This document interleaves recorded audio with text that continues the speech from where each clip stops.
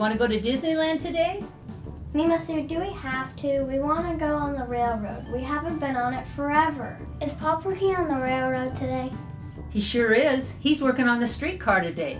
Let's go ask him if he wants to take us on another tour of the Too Much Fun Railroad. Thanks, Mima Sue. But first, we have to shrink ourselves down to G scale size. Can we really do that? Sure, Pop and I do it all the time. Last evening, we shrunk ourselves down and we went to the Too Much Fun Circus. Hang on, everybody. Here we go.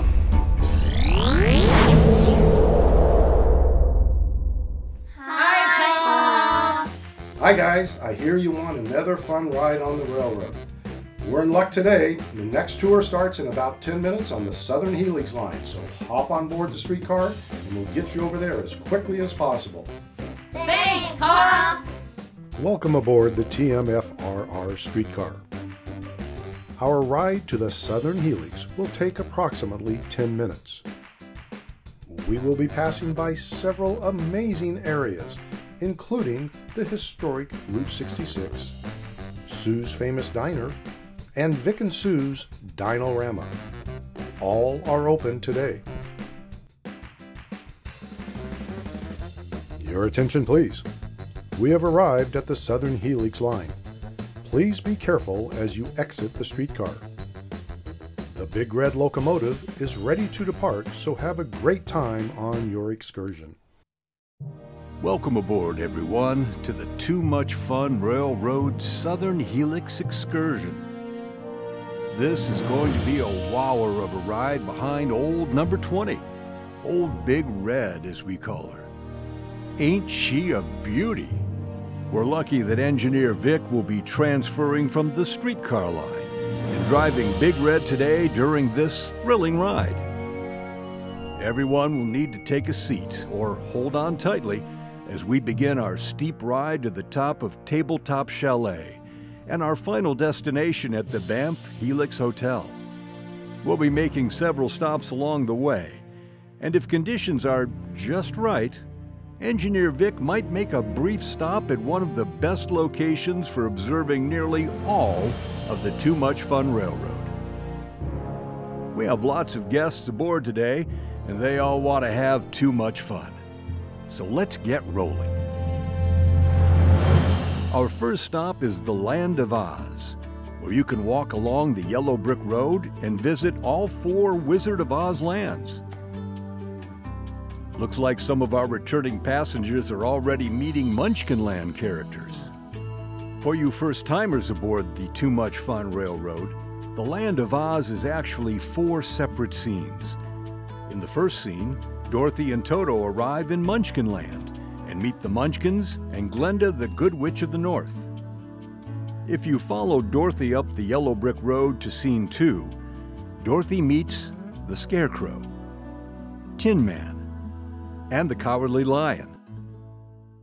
If you're ready for more adventurous hiking on the yellow brick road, be extra careful as you go through the Wicked Witch of the West scene, as she is still here doing all her dark and scary antics. Your final scene is the beautiful Emerald City, where Dorothy is getting ready to, hopefully, return to her home in Kansas. For those of you who make it all the way to the Emerald City, you're in luck today, as the Wizard is giving free balloon rides back to the train. We'll be here for one hour, so go have too much fun. Hey kids, how did you like the Wizard of Oz walk? It was fun, but the Wicked Witch was scary. Welcome back aboard, everyone. There's no place like home. As we start the next leg of our long and steep ride to the top, sit back and enjoy the ever increasing views of the valley and mountains of the Too Much Fun Railroad.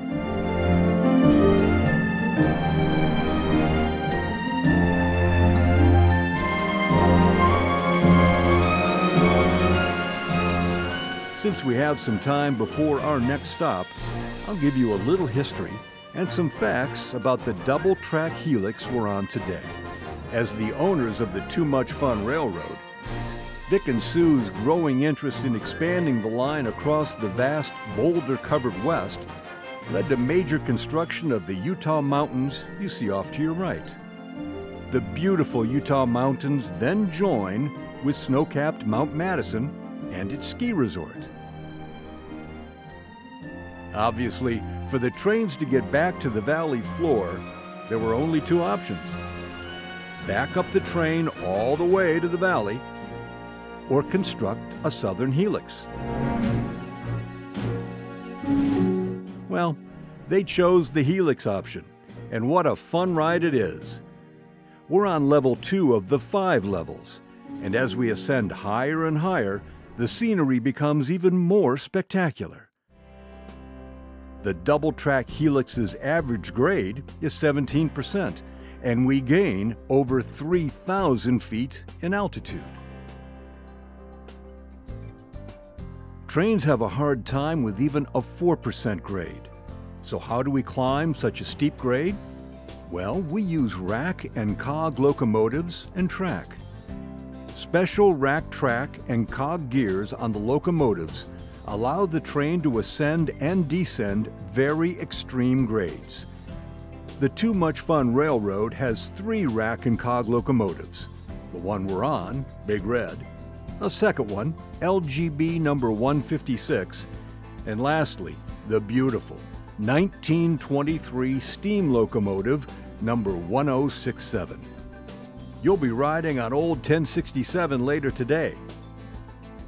The double helix allows for the point-to-point tracks we're on. And the outer helix loop line is the longest of the 11 separate lines that make up the Too Much Fun Railroad. Your attention, please.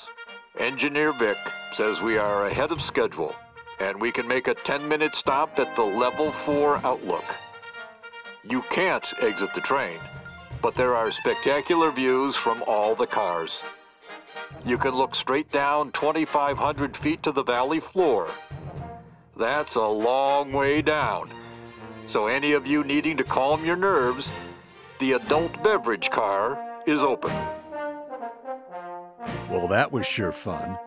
And how about those views? We have about 30 minutes before we arrive at the hotel. So sit back and enjoy the spectacular views. We've arrived at the Banff Helix Hotel, and we'll continue our excursion behind the old 1067 in two hours. For those of you wanting to do a quick ski run down Mount Madison, be careful, as all of the runs are very steep. Mima Sue, can we go on the ski lift? Okay, but it's kind of scary being up so high. We're not afraid, Mima Sue. Hang on, here we go. How did you like the ski lift ride? It was great. It was fun. Welcome back, everyone.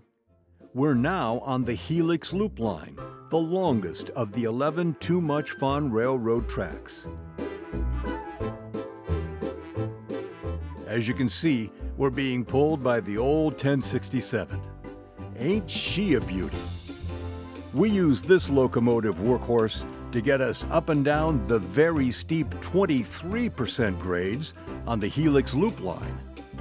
Hang on, here we go. As we approach Red Rock Canyon, our next stop, we'll be exiting the train on the right side. There are plenty of things to do here, including art shopping at the Red Rock Gallery and a visit to the beautiful and historic Red Rock Mission built in 1767. Red Rock City Hall is rolling out the red carpet for visitors, where inside is a museum of Red Rock Canyon's extensive Western heritage. It's a must see. Helicopter rides are available for anyone wanting to visit the Too Much Fun Hang Glider Park or visit the nearby active gold mining operations. Miners are ready to help you become the next gold rush millionaire. We'll be here for one hour, so be careful and have fun. Mima Sue, can I go on the hang gliders? Sure, no one ever gets hurt on the Too Much Fun Railroad. We'll take the helicopter to the hang glider park. Be careful getting in the helicopter.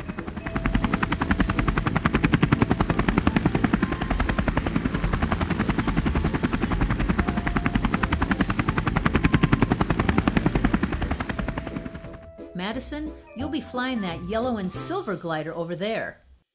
Here I go, Mima Sue. Whoa, this is so much fun! Mima Sue, this is Madison. Can you hear me? You're loud and clear. I can see forever. Can I go really high? Sure, it's really awesome way up high. Be careful. I will. There's Madison. She's going really high. Now I'm gonna go really, really low. Whoa, I can see the old number five. Ain't she a beauty? I'm coming back now. Nice landing, Madison. Welcome back, everyone. I hope you all had fun. Did anyone do the hang gliders? Maddie did. It was awesome. As we leave Red Rock Canyon, we'll travel across the highest bridge on the Too Much Fun Railroad. You can see below and off to the left an 1840s wagon train setting up for the night as they travel the Wild West to the California Gold Rush.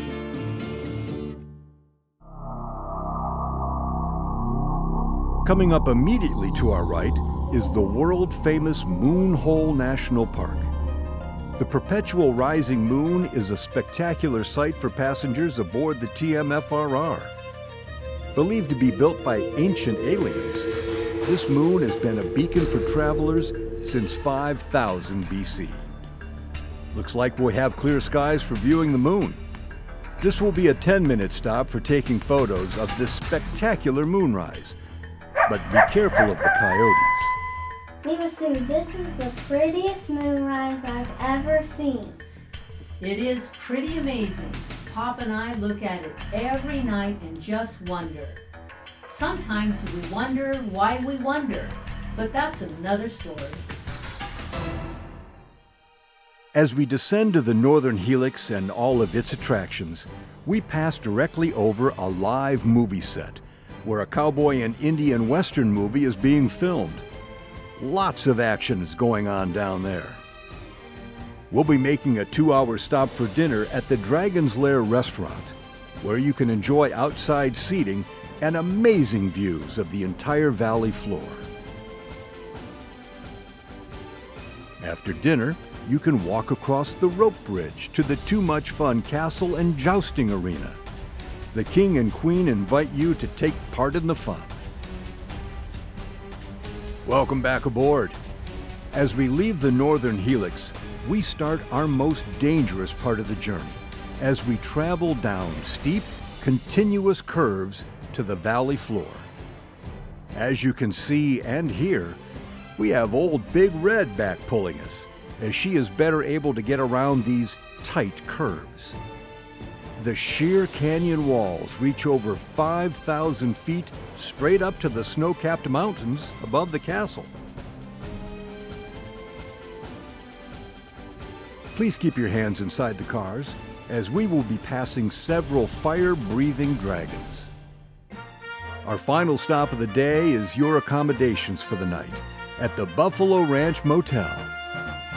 Built in 1875, this iconic place has been visited by hundreds of movie stars and notable world travelers, including John Wayne, presidents, and dignitaries.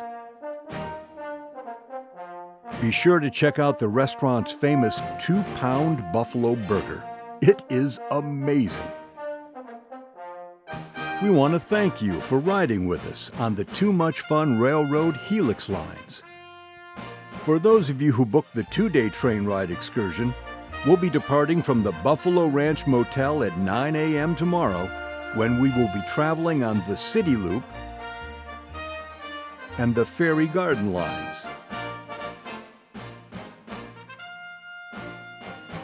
For those of you who are up for some evening entertainment, the El Rey Theater is just a short walk. And tonight's double feature is The Great Train Robbery and, for the kids, Go Go Thomas. Mr. Nick's Steakhouse has great food, and the Castle Ridge Saloon has the coldest beer in town. Have a great night. and enjoy all the sights and sounds of the Too Much Fun Railroad. Sue, what a fun day. Can we do it again sometime? Of course, there's lots more to see on the Too Much Fun Railroad. Thanks, Mima Sue and Pop!